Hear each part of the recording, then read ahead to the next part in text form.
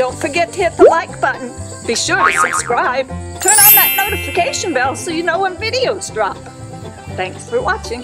This is a product review for Cozy Coop. It is a supplemental heater to use instead of heat lamps that could cause fires. It's rated for using right up against the birds without causing any harm to them. So Mrs. Peacock found this on the internet. We purchased three of them because she wanted to give supplemental heating to our friend Whitey the Peacock who's over here in this cage. He was a late hatched bird in October and he was way too young to be without heat for the rest of the winter. We placed one Cozy Coop with him. We placed the one with the black shoulder peafowl, and the third one was placed in the white peafowl pen. They're only for localized heating. They're not going to heat up a whole barn or even a little coop. It's just for the birds to cozy up against. All three of them worked well to begin with. Then all of a sudden, the one in the white pen didn't. It kept shutting off. So at first, I thought the peacocks were pecking at the red light and shutting it off. So then I put a little container on top of it so there was no way of that happening. And indeed, it happened. It not only happened with that, it happened with the two replacements I got from the manufacturer after I told them about this problem. After thinking a little bit, I thought, okay, let's take out all the possibilities. It was placed on the same extension cord with our Miller manufacturing heating fount that worked fine for us for the last four years, never any problems. Then I decided I'm going to get a 14 gauge extension cord that's rated for indoor outdoor use and put it directly on this with nothing else on. It didn't work. So again, I called the manufacturer manufacturer and they took these units back and they sent them back to their engineer overseas. And we're still waiting at the time of this to find out what's wrong. But I can tell you what I believe is wrong with the unit. The switching unit of the Cozy Coop is just not working right. And one of my viewers of YouTube, when we did our first review of the Cozy Coop about using it in the cold weather, said the following Buyer beware for the Cozy Coop heater. Only used mine less than two months and the joints on the plug wore away behind lug and spark, then plug broke off. It is also wearing near the on and off switch. Very unsafe product. I wrote that viewer and said talk to the manufacturer, maybe they can figure it out. That was before I had my problem. There is a problem with the switching mechanism. Not being an engineer of any sort of any kind, I just wanted to have a heater to give supplemental heating to our birds in those very cold temperatures here on the Peacock farm. Would I buy another one of these units? Absolutely, but they'd have to fix the switching mechanism. Also, the two units that we have now have worked flawlessly from the first day that we put them in. Whitey the Peacock loves his, and so do our black shoulders. So in closing, my recommendations to you, the viewer, is you might want to try this product. Maybe you're luckier than we. Maybe you'll get a unit that works just fine. We hope that the manufacturer, once they get the report from overseas, they'll come up with a new way of making it and we'll have a better cozy coop. This is a safe product. Mrs. Peacock loves this product, and I do too. We just want it to stay on when it's cold at night and not be off. What use is the Cozy Coop